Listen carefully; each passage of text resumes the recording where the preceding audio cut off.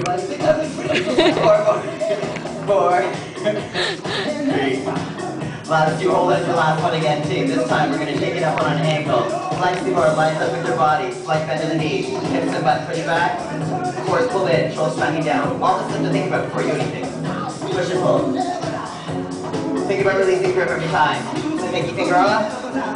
If you can, take a slight turn back, guys.